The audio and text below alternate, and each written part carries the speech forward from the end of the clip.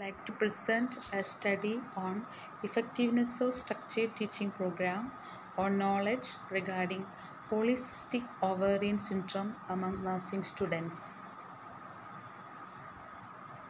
Introduction Polycystic ovarian syndrome is the most common problem that encounter with fertility of women in reproductive age.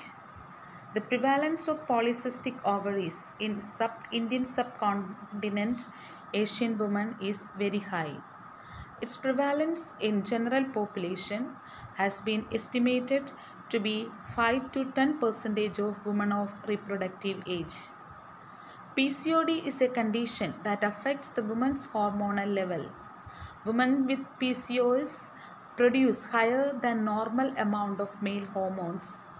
This hormone imbalance causes them to skip menstrual period and makes it harder to get pregnant.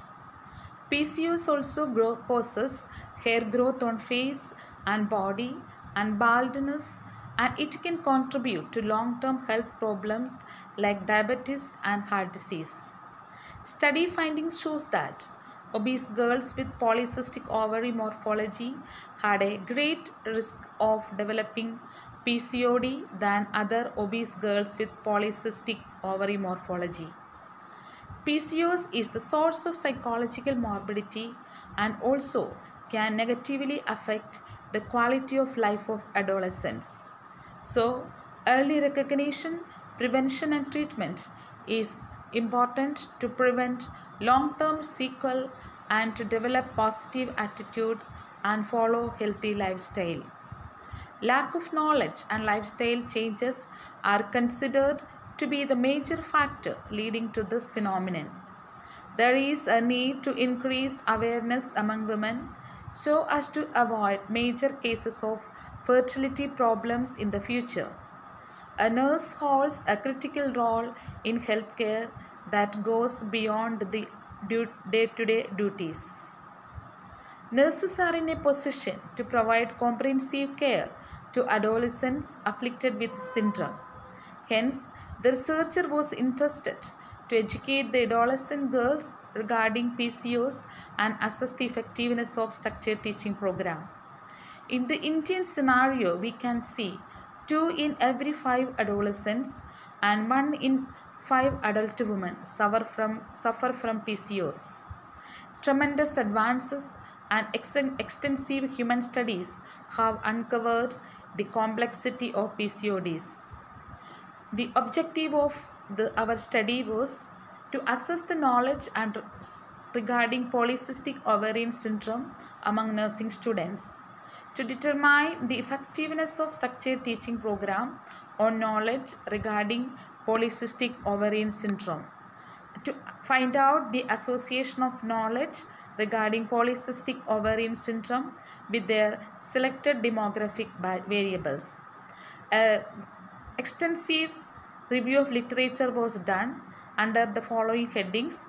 Studies related to polycystic ovarian syndrome among adolescent girls. Studies related to incidence and prevalence of polycystic ovarian syndrome.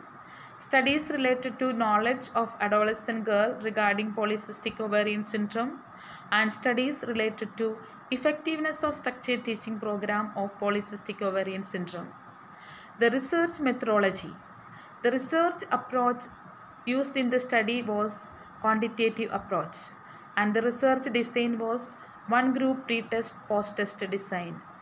The setting of the study was it was conducted in St. Joseph School of Nursing Hoshangabad. An independent variable was the structured teaching program on PCOD. Dependent variable was the knowledge of the students regarding PCOD.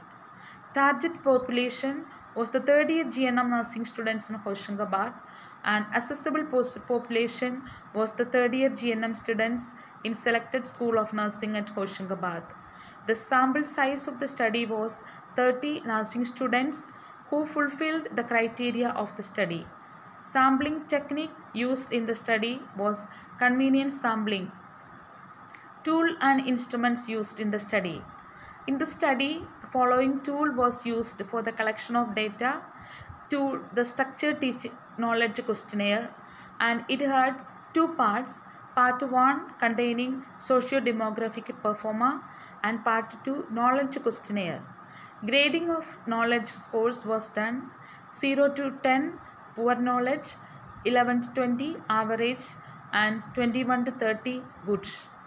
The teaching plan for the PCOD included the following introduction, definition, causes, risk factors, clinical manifestation, investigation, treatment and preventive measures. Data collection process. It was done from a period of 28 6 to 2018 to 4 7 2008. Researchers selected St. Joseph School of Nursing as a setting and permission was obtained from the college authority. Researchers selected third year GNM students for sample. Sampling technique was non-probability convenient sampling. Researcher met the participants and explained the purpose of the study. Data analysis. Descriptive statistics. Frequency and percentage were computed to analyze the demographic variables.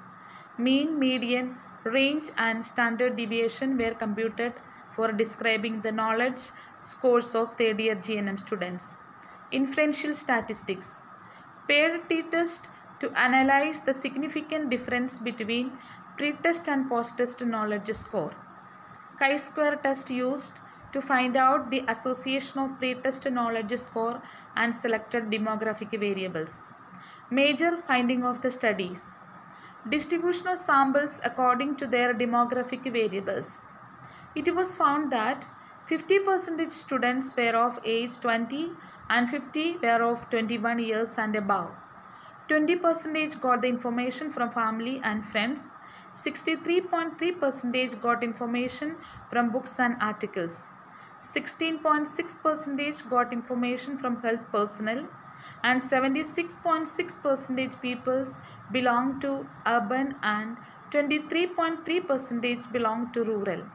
63.3% were Christians and 36.6% were Hindus.